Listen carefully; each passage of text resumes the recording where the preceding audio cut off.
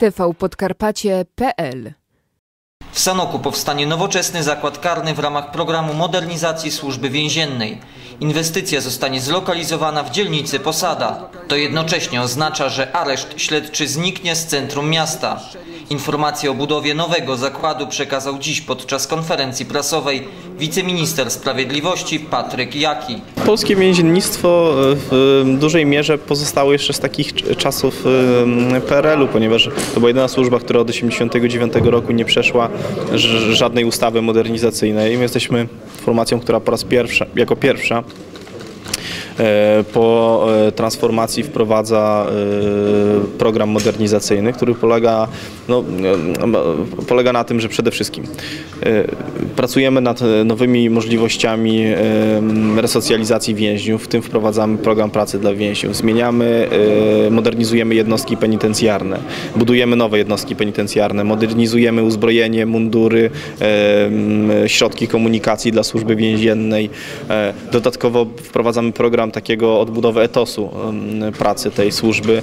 No, służba więzienna jest jedną z tych służb, która, znaczy jest tą służbą, która buduje na przykład Muzeum, Państwowe Muzeum Żołnierzy Wyklętych i Więźniów Politycznych PRL, byłej jednostce penitencjarnej na Rakowieckiej e, w Warszawie.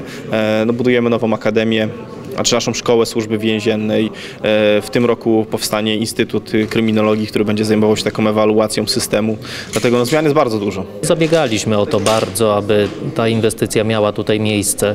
Pamiętajmy o tym, że jako miasto Sanok jesteśmy troszkę oddaleni od głównych szlaków komunikacyjnych, co powoduje pewną trudność z, z ściągnięciem jakiegoś inwestora tacy inwestorzy, którzy trafili do tej pory do Sanoka, czyli Polska Grupa Zbrojeniowa, która kupiła Autosan, teraz Służba Więzienna. To są pewni inwestorzy, inwestorzy państwowi, którzy dają miejsca pracy, płacą dobry podatek. To dla naszego regionu jest bardzo ważne. Ja całą tą działalność swoją parlamentarną w większości skierowałem właśnie na to, żeby pomóc naszemu miastu, powiatowi w tym, żeby ściągnąć tutaj duże inwestycje, żeby można tutaj było lepiej funkcjonować, bo tak jak mówiliśmy od lat, mieliśmy takie wrażenie na terenie miasta Sanoka, powiatu sanockiego, że jesteśmy omijani przez centralne inwestycje, że ktoś o nas zapomina. Teraz jest inaczej i tak jak mówię, Mam nadzieję, nie są to ostatnie dobre wieści, które przewiozę z Warszawy. Nie ma lepszej resocjalizacyjnej metody niż praca. To znaczy mam do wyboru albo więźnia zostawić, żeby e, cały dzień siedział i nic nie robił i my będziemy za niego płacić, albo on sam pójdzie do pracy i zacznie e, zarabiać na swoje utrzymanie. Ja nie widzę żadnego powodu, żeby obywatele płacili jeszcze dodatkowo za więźniów. No więcej niż na przykład wydajemy na osoby niepełnosprawne, czy na służbę zdrowia, czy na seniorów. Ja nie widzę żadnego powodu, dlatego e, no, wielkim wyzwaniem dla służby jest właśnie to, aby więźniowie sami zaczęli y, pracować na swoje utrzymanie.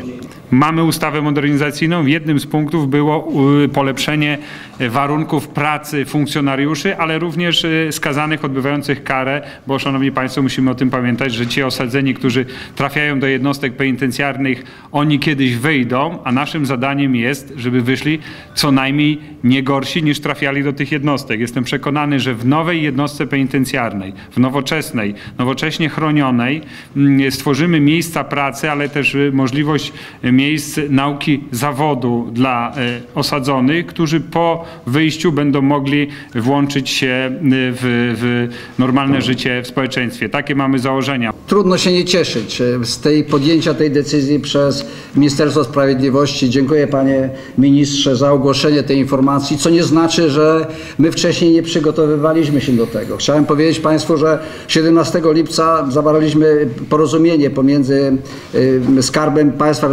przez starostę powiatu sanockiego, pana Romana Koniecznego, gminą miasta reprezentowaną przeze mnie, jak również Okręgowym Inspektoratem Służby Więziennej w Rzeszowie, reprezentowanym przez pana pułkownika Marka Grabka.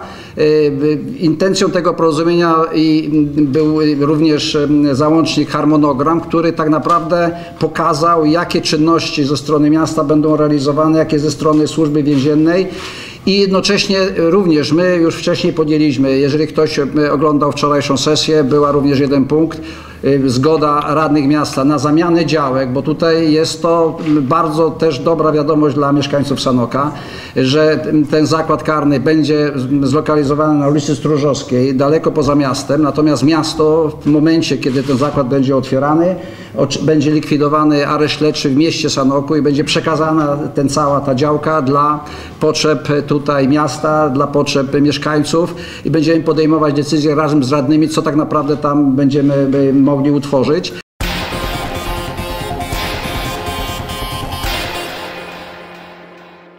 tvpodkarpacie.pl